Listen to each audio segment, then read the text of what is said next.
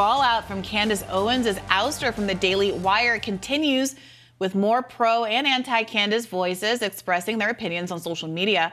Journalist Bari Weiss did not mince words, posting, quote, and this piece doesn't even touch on her truly bat bleep views about uh, Brigitte Macron. That it took the Daily Wire this long to sever ties with Candace Owens is alarming. Ex presidential hopeful Marianne Williamson also jumped in, posting, quote, Candace Owens didn't lose her job because she opposes Israel. She lost her job because she has said and is continuing to say vile things about Jews ourselves. She knows this and she is conflating the two for a reason. She will now come after me, of course, et cetera, et cetera. Hmm. Owens' firing from a supposedly pro free speech outlet did leave some wondering if it was an act of censorship or, at the very least, cancel culture. Journalist Glenn Greenwald pounced on Weiss and company, posting, quote, Same was true when the New York Times fired editors for publishing the Tom Cotton op ed. Most of the right, along with Bari Weiss, treated that as a grave act of censorship. Viewpoint based firings are exactly the sort of thing the right has long condemned as cancel culture.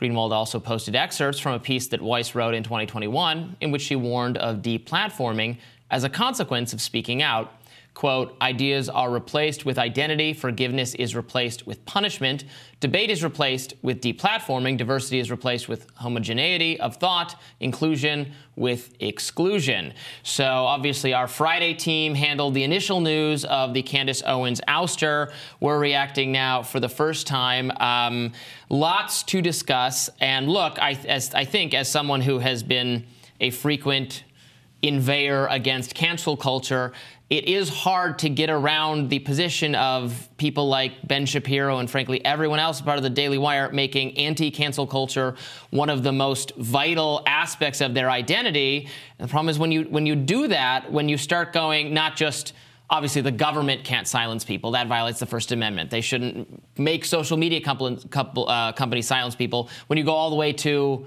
what everyone is entitled to a, a, a, platform on your network. You get into these weird situations where then you can't fire anyone, or if somebody else fires someone, you're complaining about it, but when you do it, it's okay. Well, it's justified. They're saying because she's an anti-Semite, and it's said, you know, that's their. That's what they said. You get into this weird position where you do end up looking hypocritical. Right. I think it's the the problem that look, I have been a critique of the weaponization of identity politics since I that, that was the beginning of my foray into journalism. Mm. But that's a very different thing from making the argument that identity doesn't matter.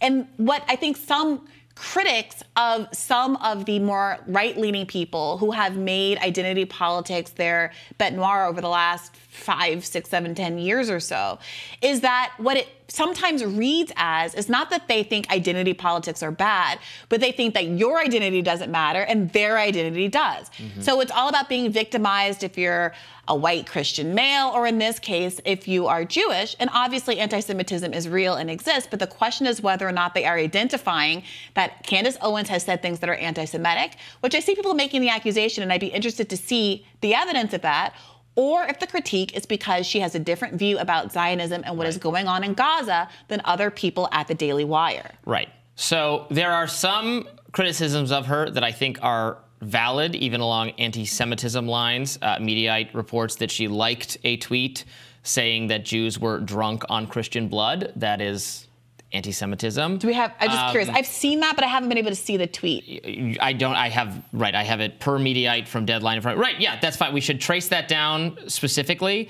Um, and then, but some other things. What's going on right now, and they're accusing her of anti-Semitism over.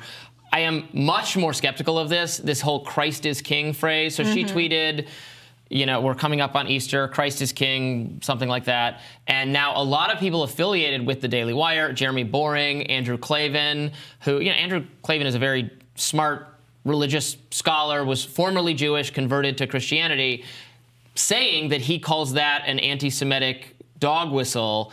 Um, I'm seeing a lot of people. That's from someone who was formerly Jewish and converted to Christianity. Right. Isn't the the whole break about deciding that Christ is the Son of God, and that therefore you're gonna you I, believe in Christianity. I, I was raised, I don't know. That He died raised, for your sins is not the whole point of Christianity. I was raised Catholic, uh, which is slightly different thing.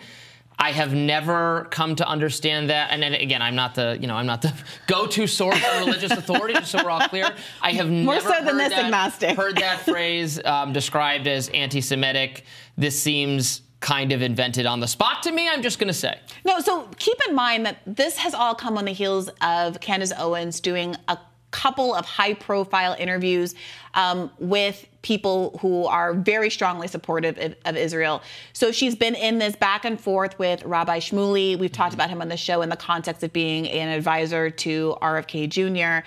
Um, it, it's gotten pretty ugly. Rabbi Shmuley um, has accused uh, Candace Owens of a lot of things. She said, come on my show, we'll debate it.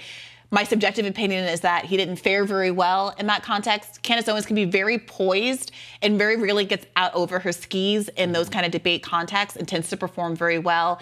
It got ugly in part because Rabbi Shmuley's daughter um, sells uh, adult toys and is in, involved in that business, which is, I have no issue with at all. But Candace Owens tends to be more culturally conservative. And so there was this weird juxtaposition of Rabbi Shmuley kind of trying to claim a moral high ground um, at the same time that Candace Owens was trying to claim a moral high ground because of his promotion of his daughter's business.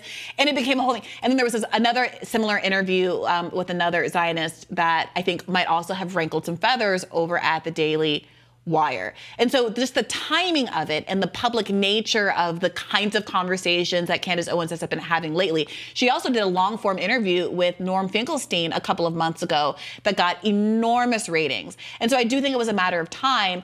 Uh, how long was it going to be between the ten- before the tensions between Candace Owens' programming and um, uh, Ben Shapiro's politics on this particular issue were going to come to some kind of head? So I found the tweet. Um, so this was during the fight with Rabbi Shmuley back on March 13th. Some he's um, he's feuding with Candace, and some I, I, just some random person or some person I don't know responded to Shmuley and said, you know, criticizing for what he's saying or taking issue with it, like fact checking it, and then saying, "Are you drunk on Christian blood again?" And she liked that tweet. So there you there you have it. Uh, you know, look, it's uh, Candace Owens. We had a very interesting. Uh, the, like the arc of her career, she is mostly known now, obviously, for being this conservative commentator, someone who's very critical of the Black Lives Matter movement. Um, you know, all lives matter type stuff. Has has said everything she said about that. When she initially burst onto the scene back in 20 like 15, she was actually. Um, she was certainly not right coded. I wouldn't say she was necessarily left coded. She was almost lib coded in some ways. She uh, her first like foray into national attention was launching um, something called Social Autopsy, which was an what she described as an anti-bullying organization mm. because she had been uh, she had received death threats or ra- like racist death threats from a friend or something. It's a convoluted story. She got a little bit of national attention, and then she spun that into like a, like an anti-bullying thing. But her her plan, and she didn't this didn't really go anywhere. But the idea of social autopsy was going to be to de de, de make not anonymous anymore the the internet because she thought anonymous trolls were the problem and were harassing people and bullying people. And if the internet was less anonymous, you could hold those people accountable. Um, that got her into trouble with both pro Gamergate and anti Gamergate people, mm. if you mm. remember the whole Gamergate mm. controversy. Basically, right and left united against her because neither side wanted to, because those people were always harassing each other, so neither side wanted to move forward with this make the make the internet no longer anonymous thing. Um, it was like a profound misunderstanding of that conflict. Then she pivoted in this very anti Black Lives Matter and eventually conservative comment yeah. direction. So some people have accused yeah. her of being not particularly a kind sincere, of an opportunist. Well, especially change their views over time. Well, especially because that initial bullying campaign was spurred because she sued she sued her school district right. over accusations that she was being bullied for her race and that the, the school district wasn't defending her appropriately. So for her to have gone from racism exists and it was targeted against me and I deserve a 37,000 judgment for the school district because I was targeted for my race to everyone's exaggerating the importance of race. Racism doesn't matter. Racism wasn't factor a factor in these police killings, yeah. et cetera, et cetera, seems incongruent to a lot of folks. Yeah, I mean, you can, look. You can change your mind over the course of 10 years. It could be when she was a much younger person, she thought Or it could be an example of her doing arguably what so many of these cancel culture critics are doing now, which is to say